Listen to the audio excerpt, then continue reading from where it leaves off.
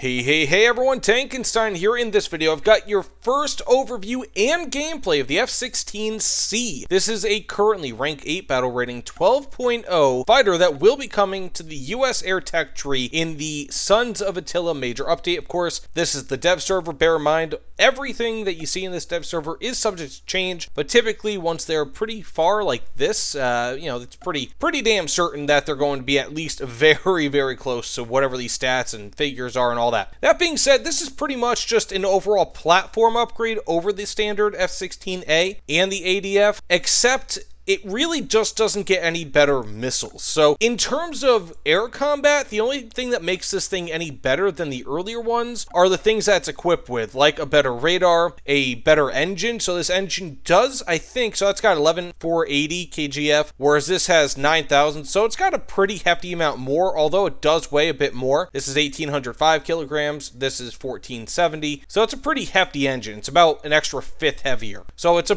pretty, pretty damn hefty uh, engine engine. But again, the missiles are the same in this. You only have the AIM-9Ls and the AIM-7Ms. In the future, apparently, they will be bringing AMRAAMs, the AIM-120s to this. But as of right now, they said that they are just a little bit too powerful for the game, and so they won't bring them in, at least currently, even though, of course, the MiG-29 SMT has R-73s and also the R-27 ET. Now, what this does have is a better CAS suite, so it does have the Lightning II targeting pod, which is really, really nice. And it does also have some GBUs as some some laser guided bombs, I believe, if I'm not mistaken. So it's it's a really really nice platform overall. It's a decent enough upgrade when it comes to air combat because you will be able to maintain energy a bit better in this. But that's pretty much it. Now this does also have an enhanced RWR, which is really nice, but nothing really all too much beyond that. Again, the engine and the radar. Importantly, it is also uh, something to note here. This does have helmet mounted display, which is great, which means that basically what will happen is wherever your pilot's looking, like wherever your camera is, that's where the aiming reticle will be for the missiles, and that's where they'll lock. So you should be able to perform better maneuvers with your missiles with that. But again, these are AIM-9Ls, they're not AIM-9Ms or anything like that, so we'll have to wait and see how useful that is. that being said, let's get into a few matches, see what we could do, and have a good time. But, uh, yeah, the F-16C, this is pretty much, again,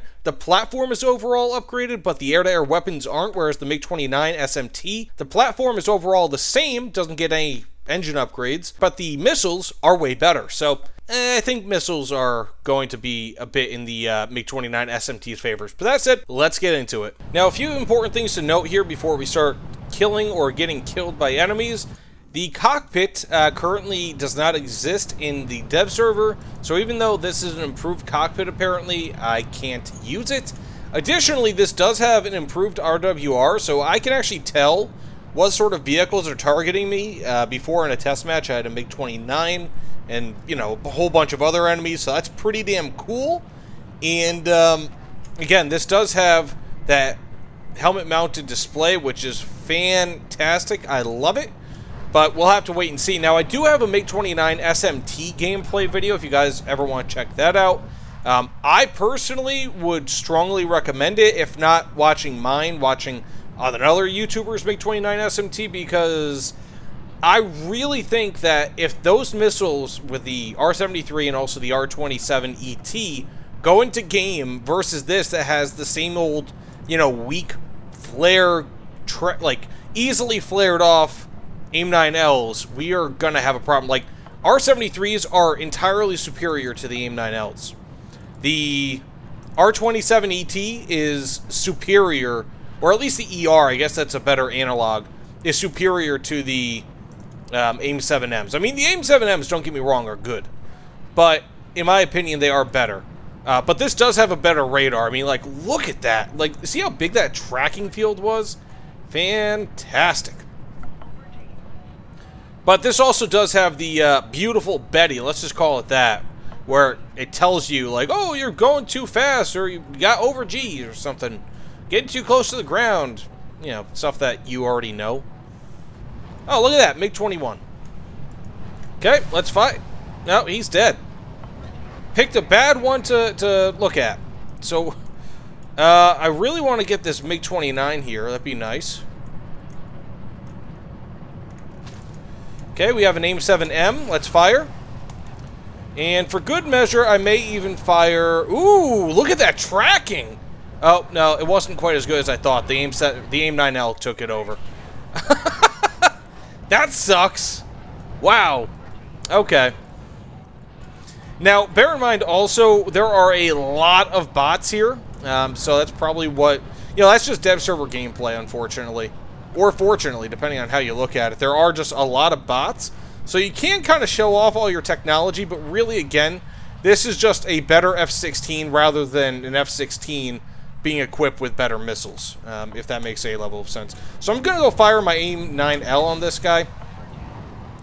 Then we have some, uh, you know what, I apparently don't have any um, AIM-7s anymore, so let's go ahead and do this and then go for a gun kill maybe against uh, this Su-25. Got three kills there, real quick, doing pretty damn well. I really did not do myself any favors here. I don't know if you guys can hear, but uh, it keeps saying over G. I mean, I guess I am a G. This guy is not gonna flare. Well, maybe he will. Got a hit. Got the kill. Very nice. Okay, so that said, let's get into another match, see what we could do, but not too bad. I mean, again, this thing, it's not like you're taking, like, when it comes to new vehicles at this point, at least when it comes to aircraft, they're more of a show of what type of technology, like what sort of weapons they can carry. And this is carrying the same old weapon. So while the performance on this, admittedly, is quite good, you know, I'm not going to deny that. It's, it's pretty good. I would say, likely, despite the stat card, I would say it's likely better performance, um, even in spite of also having a higher weighted, uh, heavier engine. But overall, I mean, it just kind of feels like a. You know what? Screw it. This is a better F-16. It's better. That radar is really what sells it. Um, that's a big, big deal. And that's going to make the... Oh, look at that. We have a floating AA island there. But that new radar is going to make the AIM-7Ms a lot more effective. And ooh, that was ugly. So, we'll have to wait and see exactly what happens. But that said, let's get into another match. I mean, this... It's kind of... Again, the weapons aren't better, but everything around them is better. Okay, that said, let's get into another match. I mean, I'll tell you guys what. This plane is a bit better than I expected. Genuinely. I didn't expect it to be as good as it is. Um, at least again on the dev server again. Anything can change, so, you know, anything that you see here is up for change, and that's kind of Gaijin's motto when it comes to dev server stuff, right? But, in general, I'm actually, again, very impressed with this thing. Like, it has good maneuverability, like, the performance is better, you know, noticeably better to the extent that, uh, you know, it, it doesn't necessarily feel like a totally different aircraft, but it, it definitely feels good. Um, you know, a, a bit more usable, so to speak. So let's see if we can outturn this MiG-23. Yes, we can. Flare off just in case. And I don't think, I still don't think that this is going to be at all competitive compared to an SMT, right? Like, the SMT is going to be much better than this aircraft, unfortunately. Um, I feel pretty confident in saying that. Um, I just don't really think that this has the capabilities. Not because this is a bad aircraft. This is definitely a better aircraft compared to, again, the F-16A. I I know it. Like, this is better. Uh, but it's just... It doesn't have the weapons, you know? Um, unfortunately. It just doesn't have the weapons that you might want in order to be truly competitive at and around this BR. So let's go ahead and fire on this guy with an AIM-9 or an AIM-7M. Hopefully I can hit him. Now these are bots. Uh, looks like I will get that. Hits! Maybe? Maybe? Yes! There we go. Very nice. You know, you have to fight... Like, you can't choose who you fight. You can't, like, choose who's on the schedule, so to speak. But, of course, you can do as well as you can uh, regardless of what the schedule is. And as you can see, there's pretty much only bots at this point. Uh, except for that guy, but he's being swarmed, it looks like. Maybe by bots, I'm not sure. But anyways, so the helmet-mounted display, the increased engine power, and the better radar definitely, I mean, 100% definitely make this into a substantially better plane. And if if I haven't already said it, did I say? That, oh, wow. Oh, wow. Hopefully my ally doesn't get killed, because that looks like it just went for my ally.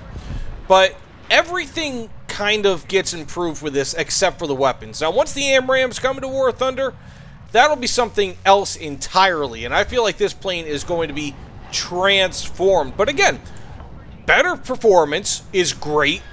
The helmet-mounted display, despite the fact that I didn't really use it all too much, I still use it a little bit, and it helps.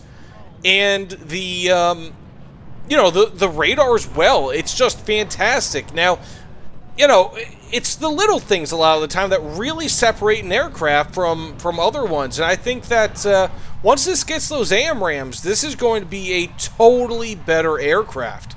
Um, again, I'm I'm really impressed with it. I don't really think that this is incredible. And again, I think that in general, the um, the SMT will be more effective than this. In general, I, have got very little doubt in my mind because it offers similar performance, a still still a good radar, and of course better missiles. Because I mean, I'd rather have the R73s and the uh, any day over the AIM-9Ls. I mean, if you guys want, again, check out that video. Th they have thrust vectoring. The R73s uh, have thrust vectoring. I don't know what the hell I'm doing here. Um, but they, they can just make any turns that they want, whereas these can't. Um, so either way, thanks so much for watching. I mean, this match is pretty much over. Such is the dev server. So thanks so much for watching. If you guys don't mind, please consider liking, commenting, subscribing. I genuinely appreciate all of it. You know, I, I don't know if you guys know, but, uh, you know, every every time that I interact with you guys, even if you just watch my videos, it, it really does mean the world to me. So, that it. thanks again, and I will see you all on the other side. Not too terrible for a dev server match.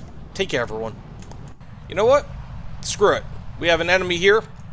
AIM 7M. Take care, everyone.